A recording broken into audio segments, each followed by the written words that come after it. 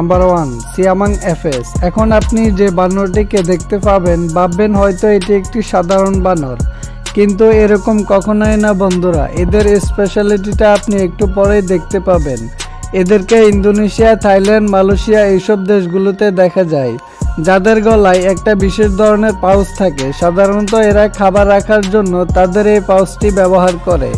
কিন্তু এছাড়াও আরেকটা খুব মজাদার কাজ করে এ পাউচ দ্বারা। যেমন প্রথমে এরা নিজের পাউচটি এভাবে ফুলিয়ে নেয়, তারপর এ ধরনের আওয়াজ বের করে, যা একটা পাখির মতো শুনতে লাগে।